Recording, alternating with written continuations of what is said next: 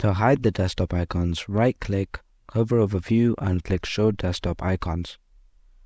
To show them again, right-click, hover over View and click the same box that says Show Desktop Icons. That is how you show and hide desktop icons.